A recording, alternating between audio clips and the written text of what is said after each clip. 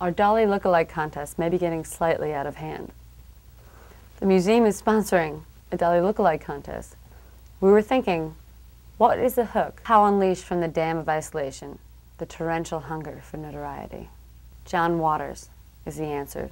Why not have John Waters judge the competition? Who wouldn't want to submit their films under the review? A champion of nonconformity and an amazing director, which is why it's really unfortunate that we neglected to ask him if he could do this for us. We're sorry.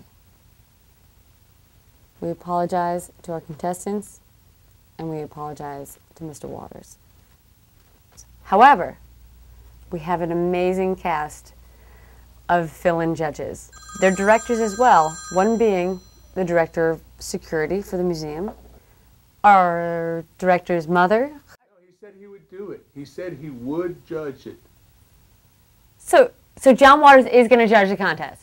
So John Waters is going to judge the film submissions for the Dali Lookalike contest. This is absolutely phenomenal. April 20th, just get your films in, and so he's going to judge the whole thing.